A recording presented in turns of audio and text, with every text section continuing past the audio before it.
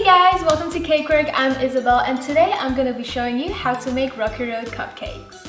What you'll need is 1 cup of flour, 1 cup of caster sugar, half a cup of cocoa powder, 1 cup of crushed biscuits, half a cup of buttermilk, 1 cup of canola oil, 2 fresh eggs, half a teaspoon of baking soda, 3 fourths teaspoon of baking powder, a pinch of salt, and 2 teaspoons of vanilla extract.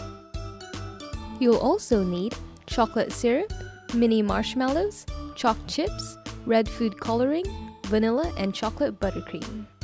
So for the first step, we're going to mix all the dry ingredients followed by the wet ingredients. Begin mixing all ingredients on low speed, then slowly increase it. The consistency should be similar to what you see here. Next is to pour in the batter into the cupcake cases. Then place it in the oven at 180 degrees for 25 minutes. Once the cupcakes are baked, let it cool for 10 minutes.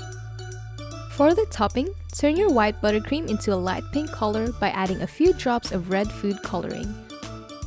Mix till you're happy with the shade. When scooping the buttercream into the piping bag, make sure to have the pink cream on one side and the chocolate cream on the other.